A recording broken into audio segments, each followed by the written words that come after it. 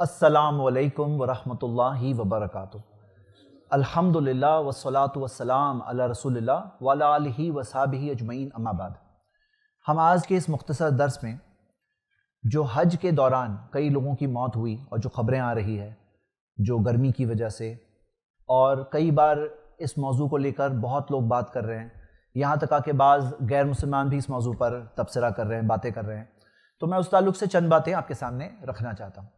सबसे पहली बात तो ये कि मौत तो एक इंसान को एक ना एक दिन आनी है। और उसका वक्त मुकर्र है, लिखा हुआ है। इससे अच्छी बात क्या हो सकती है कि एक नेक काम करते हुए किसी को मौत आ जाए? इससे अच्छी बात क्या हो सकती है? सबसे पहली चीज़ तो ये। दूसरी चीज़, अगर देखेंगे कि कितने मिलियन लोग वहाँ जाते हैं, सालों साल से कितने मिलियन लोग हर साल हर साल जाते आए हैं, और किसी एक साल में ऐसा हुआ, और पीक समर, यानी समझ लीजिए, जब टेम्परेचर 50 डिग्री से ऊपर चल रहा है और जो लोग वहाँ हज के लिए जाते हैं, वो कौन से लोग अक्सर जाते हैं? अक्सर बुज़ुर्ग उम्र वाले जाते हैं, जिनके अंदर खुद ऑलरेडी कई सारी बीमारियाँ होती है को मॉर्बिडिटीज होती है।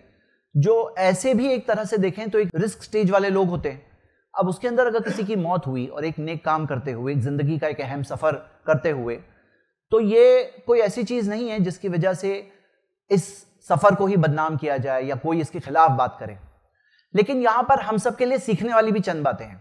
सबसे पहली चीज़ जो मैं आप सबके सामने बात बोलना चाहता हूँ, वो ये कि हमारे यहाँ, खासतौर से हम इंडिया में माहौल जो देखते हैं, कि बुज़ुर्ग माँ बाप, बहुत बुज़ुर्ग, और उनको माँ बाप को अकेले भेज देते हैं, कोई साथ में नहीं जाता। ये क्या बात है? यानी कि ऐसा लगता है सब कुछ ऑटोमेटिक हो जाएगा, और वहाँ जाके अचानक खुद ब खुद ऐसे मतलब कुछ हो जाएगा और खुद ब खुद सब चीज़ें हो जाएगी। कि ऐसा नहीं लगता कि बुज़ुर्ग माँ बाप को अगर कोई भेज रहा है तो बच्चों में से भी कोई अगर सेहतमंद हो, जवान हो, और जाए वो भी साथ में, खिदमत करे, सवाब पाए उसकी भी हज हो जाएगी। जवान लोग क्यों नहीं कर सकते भाई? बूढ़े होने के बाद ही करेंगे हज। ये बात भी क्या है? तो साथ में वो भी हज कर लें, ऐसा क्यों नहीं हो सकता? और हमारे यहाँ लोगों ने ऐसा सोचा है, हज का सफ़र यानी चालीस दिन। हालाँकि ऐसा कुछ भी नहीं है। हज कितने दिन है? हज कितने दिन है, बताइए। हाँ?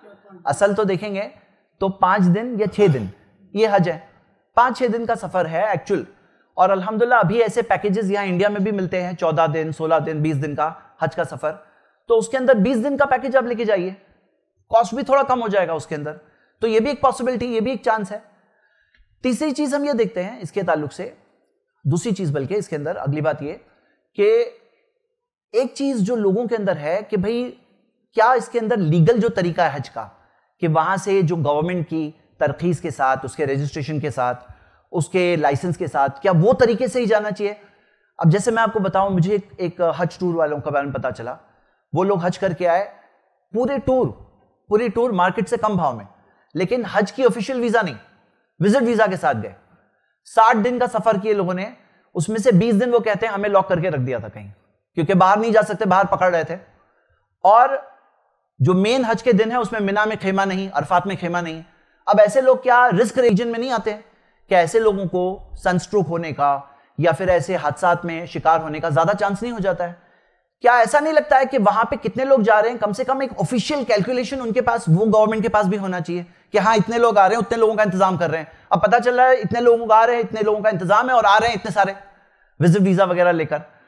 तो यहाँ पर कई सारे लोग जो ये सेटिंग वाला काम करते हैं ना तो इसकी वजह से प्रॉब्लम्स नहीं होते फिर वो प्रॉब्लम्स जो होते हैं, क्या इसके अंदर ये चीज़ हिस्सा नहीं है? ये सोचने वाली बात है हम सबके लिए। एक और चीज़ हम देखते हैं, अल्लाह ताला फरमाया वो तजवदू कि ज़्यादा राह ले लो। फ़ैना खैर जादी तकवा बेहतरीन ज़्यादा राह तकवा है अब ज़्यादा राह ले लो तो क्या खुद भी कुछ ज़्यादा राह का इंतज़ाम नहीं करना चाहिए कि खुद भी भाई यहाँ पर ये चीज़ है सब चीज़ उनके ऊपर डिपेंड हो जाओ मतलब वहाँ पे अभी मीना के दिनों में अरफात के दिनों में भाई वहाँ पे मिलेगा मिलेगा भाई खुद भी तो कुछ इंतज़ाम करो अल्लाह ताला ने ये नहीं कहा कि बस डिपेंड हो जाओ खुद भी तो कुछ ज़्यादा राह लो खुद भी कुछ कैलकुलेशन करो कि यहाँ पे मेरे पास पानी इतना होना चाहिए यहाँ पे खाना कुछ होना चाहिए यहाँ ये चीज़ होनी चाहिए अच्छा आप देखेंगे कि शरीयत के अंदर बहुत सारी आसानियाँ भी है। सोचिए, अगर कोई बुज़ुर्ग है, वहाँ जा रहे हैं, जमरात पे जाना आना, अब उसके अंदर वहाँ जाना, इतने किलोमीटर आना, जमरात पे कंकर मारने में आजकल रिस्क नहीं है। एक जमाने में जमरात पे कंकर मारने में भी रिस्क बहुत हुआ करता था, कि वहाँ पे स्टैम्पीड वगैरह हुआ करते थे। आजकल अलहमदुल्ला वहाँ बहुत आसानी से हो जाता है। लेकिन जाने आने में इतने किलोमीटर जो चलना है, उसमें तो एक रिस्क होता ही है, खासतौर से बुज़ुर्ग हो तो। और जाने में रिस्क तो है ही तो वो किसी और को दे सकते हैं नियाबत कर सकते हैं, किसी और को दे सकते हैं कि आप मेरी तरफ़ से मार दो। सहूलतें बहुत सारी है। दस तारीख को तवाफ इफादा नहीं कर सकते, ग्यारह को कर दो, बारह को कर लो, आगे कर लो, उसके अंदर कोई टाइम लिमिट भी बाज ने तो कहा है पूरे जिलहिजा तक की टाइम लिमिट है तवाफ इफादा की। तो हम ये कहते हैं कि यहाँ पर जो सहूलतें हैं, वो लोगों को पता नहीं है और ना होने की वजह से क्या क्या करते हैं लोग? बाज लोग ये समझते हैं, अरफात के दिन वो जबले रहमत के ऊपर चढ़ने में बहुत सवाब है। अब एक भाई के बारे में पता चला, उनको यही पता था कि भाई जबले रहमत पे चढ़ना है और चढ़ने में बहुत सवाब है। जबले रहमत को देखते हैं ना वाइट दिखता है। जो योमुल अरफा के दिन वाइट दिखता है क्यों? क्योंकि इतने सारे लोग वहाँ चढ़ने की पूरी कोशिश कर रहे होते हैं। हालाँकि वहाँ चढ़ने में कोई सवाब नहीं। हाँ कोई ऐसे खास नहीं। नबी वसल्लम ने फरमाया, जबले रहमत पर नहीं खड़े थे, उसके करीब खड़े थे और कहा कि मैं यहाँ खड़ा हूँ, लेकिन पूरा अरफात खड़े होने की जगह है। अल्लाह के रसूल वसल्लम ने फरमाया। फिर भी लोग पूरी मेहनत करके धूप में ज़्यादा लंबा फासला चलना है, क्योंकि मामला क्या आपके खेमे से जबले रहमत तक चल के आना धूप का वक्त। हाँ तो ये क्या है मामला? ऐसी पहलवानी में भी तो लोग अपने आप को रिस्क एरिया में डालते हैं। ऐसी चीज़ जो गैर साबित शुदा है। बाज लोगों को ही पता है, भाई धूप में खड़े होकर दुआ करेंगे। क्यों? भाई खेमे में बैठ के दुआ कर लो। दुआ है आपकी, आप करिए। मतलब ये क्या है कि धूप में खड़े रहने में को लगता है कि खास उसके अंदर अल्लाह ताला ज़्यादा सुनेगा अगर हम धूप में खड़े रहेंगे। तो ऐसी बात नहीं है। फिर ऐसी चीज़ों में रिस्क में डालते भाई पचास डिग्रीज का टेम्परेचर चल रहा था।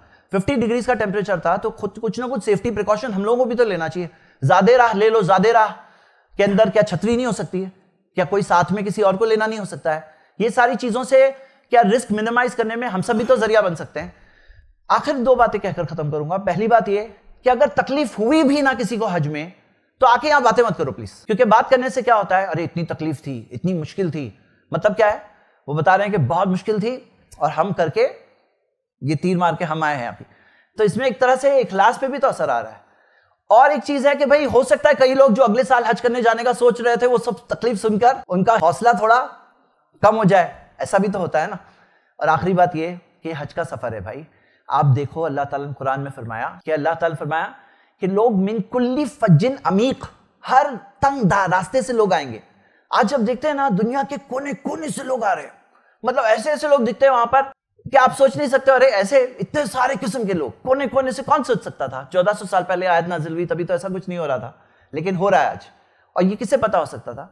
खालिक कायनात, जिसको हर चीज़ की खबर है, वही तो जानता है ना? और वही चीज़ है, अरे कितने सारे मौजूद हैं, कितने सारे फ़ायदे हैं हज के सफ़र के। लेकिन ये चीज़ के अंदर मैं आखिरी बात तो ये कहूँगा कि भाई वो ज़िंदगी के रिस्क वाले मरहले का क्यों इंतज़ार करते हैं लोग? पहले ही भी हज करें ना?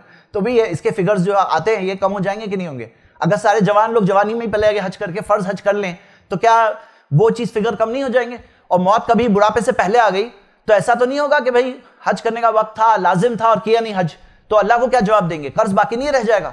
इतने सारे फ़ायदे से महरूम ज़िंदगी निकाल रहे हैं। पता है आपको एक, एक टी शर्ट मैंने देखा हज चेंज मी हज चेंज मी हज ने मुझे बदल दिया। लेकिन वो बदलने का वक्त क्या बुढ़ापे से पहले मतलब कब्र से पहले उससे पहले पहले नहीं कर लेना चाहिए? सेहतमंद हो जब ताकत है और काफ़ी कुछ चलना पड़ता है भाई, अच्छी तरह से कर सकते हैं।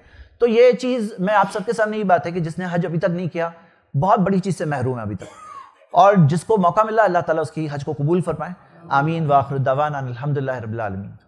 ऐसे ही फ़ायदेमंद इस्लामिक वीडियोस देखने और मनहज सलफ़ पर किताब व सुन्नत की तालीमत को आम करने में हमारा ताउन करें, ताकि आपके लिए ज़रिया नजात, जन्नत के हसूल का सबब, साथ ही माल में बरकत व इजाफे का ज़रिया भी बने। आमीन जजाक अल्लाह खैरन